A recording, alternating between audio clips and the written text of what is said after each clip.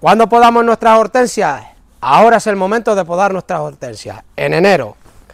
Y os vamos a enseñar cómo las podamos nosotros y os vamos a dar unas recomendaciones sobre hortensias. Ya sabéis que la hortensia, dependiendo en la zona que estemos, necesita unos requerimientos u otros. Yo cuando hablo siempre de la zona nuestra, zonas donde hace mucho calor, la hortensia, ya sabéis que hay que ponerla a la sombra. Y vamos con las primeras recomendaciones.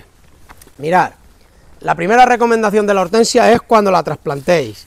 Si la tenéis del año pasado y queréis volverla a trasplantar, ahora también es el tiempo. Esta ya está podada y ahora vamos a podar otra para que lo veáis. Es el trasplante. Mirad, siempre un sustrato para hortensias, intentar comprar siempre un sustrato de hortensia. Hemos llenado con nuestro sustrato, metemos nuestra hortensia y la dejamos siempre por encima, lo viejo por encima del sustrato. Mirad, aquí en las nuevas que tenemos sembrado se ve que hay algunos que cuando puse algunas historias aquí, dijo, qué mal has sembrado las hortensias, pues tiene una finalidad eso. El sustrato no debe tocar aquí arriba en, lo, en lo viejo. Así, según está trasplantada la hortensia, tiene suficiente. Y mirar, ahora vamos a podar nuestra hortensia. Mirar, esta es del año pasado, hay que dejarla bajita, porque si la dejáis muy alta, va a echar mucho brote, va a hacer mucha flor y las flores van a ser pequeñas. Entonces, ¿cómo puedo nuestra hortensia? Pues tan, tan sencillo como eso. Os vais mirando los yemeros y mirad, y la vamos a dar un corte agresivo.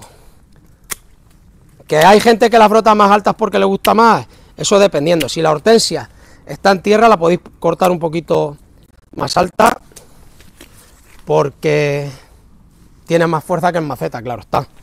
Y ya la cogemos y trasplantamos nuestra hortensia. ¿Veis? Tan sencillo como eso.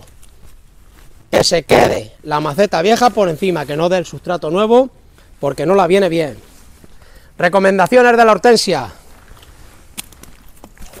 Blanco, rosa, rojo, con un fertilizante, bueno, y también para el azul, con un fertilizante de plantas ácidas, de plantas ácidas, que se me va la palabra, hay que empezar, cuando empieza a brotar, a dar el fertilizante, tanto si lo compráis en líquido como en bolas.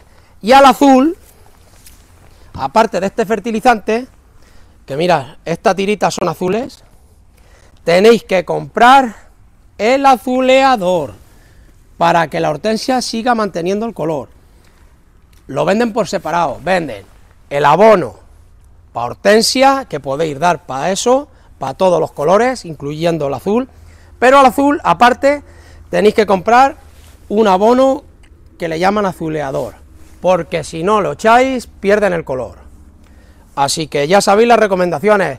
Tiempo de podar nuestras hortensias. Ya habéis visto cómo las hemos podado, ahora las vamos a poner ahí con los goteros para que se hagan más grandes y ya las enseñaremos. Amigos, un saludo y arriba la agricultura.